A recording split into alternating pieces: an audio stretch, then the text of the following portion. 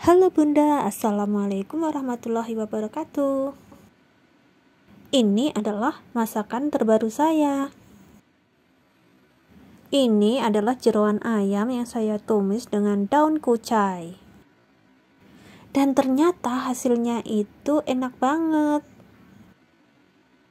Bunda di rumah boleh mencobanya dan ini dia bahan-bahan yang diperlukan. Ini adalah jeroan ayam yang biasanya disebut ampela. Jeroan ini saya beli di supermarket dan sudah dipisahkan seperti ini ampelanya. Dan selanjutnya jeroannya saya cuci bersih. Lalu saya memotongnya kecil-kecil seperti ini sesuai selera saja. Saya memotongnya kecil-kecil supaya saya mudah mengkonsumsinya. Dan untuk selanjutnya, jeruannya saya taburi garam. Dan saya mengaduknya agar garamnya itu merata ke seluruh uh, jeruannya. Oke, selanjutnya ini ada daun kucai. Daun kucai ini sudah saya bersihkan dan sudah saya cuci bersih. Oh iya, daun kucai ini adalah sejenis daun bawang dan aromanya itu harum banget, khas seperti daun brambang. Selanjutnya saya menyiapkan bumbu-bumbunya. Seperti biasa, bumbu-bumbunya itu adalah bawang putih, bawang merah, dan cabai yang saya potong kecil-kecil sesuai selera saja. Dan jika kalian tidak suka pedas cabenya ini bisa di skip ya. Selanjutnya saya menuangkan minyak ke dalam wajan dan menumis terlebih dahulu jeroannya ratakan di dalam wajan dan lalu saya menutupnya dan gunakan api sedang saja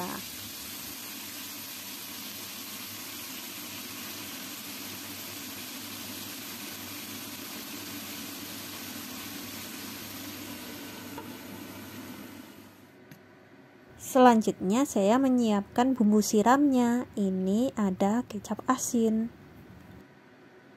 Dan saya tambahkan juga gula di dalamnya. Serta saya menambahkan ini adalah tepung maizena atau tepung jagung. Aduk seperti ini sampai mencair atau menyatu. Tambahkan air jika sekiranya terlalu kental.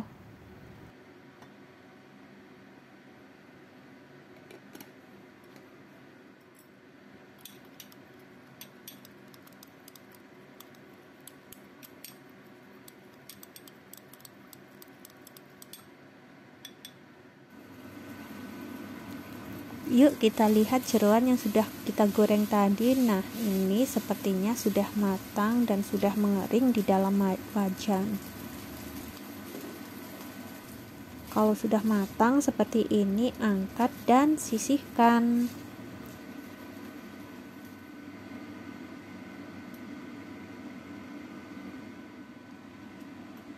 Lanjut berikutnya, saya memanaskan minyak lagi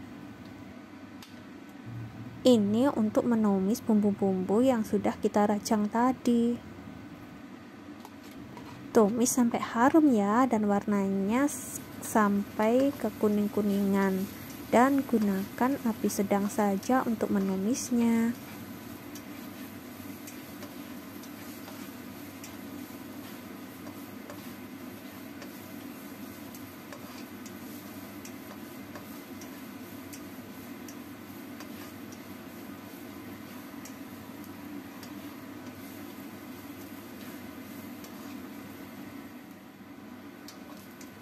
Nah, sepertinya ini sudah mulai menguning.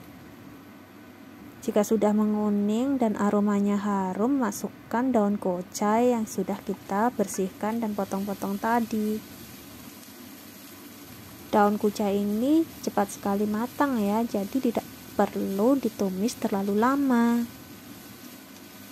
daun kucai ini sangat harum jadi kita tidak perlu menambahkan penyedap atau apa pun. Di sini saya cuma menambahkan garam saja dan e, tambahan dari bumbu yang tadi saya siapkan yaitu kecap asin dan gula untuk menyeimbangkan rasa. Kalau daun kucainya sudah layu, kita masukkan jeruan yang sudah kita goreng tadi ke dalamnya, campur dan aduk merata. Karena terlebih dahulu tadi jeruannya digoreng, jadi sebenarnya gorengannya eh, jeruannya itu sudah matang ya. Ini tinggal meratakan saja dengan daun kucai. Hmm, harum aromanya harum banget. Oh iya, bumbu tuang dari kecap asinnya tadi sudah saya uh, campurkan atau sudah saya tuangkan. Maaf ya, tadi terskip. Jangan lupa dites rasa dan kalau sudah matang boleh diangkat dan siap untuk disajikan. Dan beginilah hasil akhirnya. Ini enak banget dan simple banget, mudah banget cara membuatnya. Jangan lupa dicoba ya. Untuk kalian yang suka dengan video saya ini, jangan lupa like, komen, dan share ya. Untuk kalian yang baru gabung, jangan lupa channel ini di subscribe. Aktifkan juga tombol loncengnya agar kalian tidak ketinggalan video-video terbaru dari saya nantinya. Sampai jumpa di video saya berikutnya. Wassalamualaikum warahmatullahi wabarakatuh.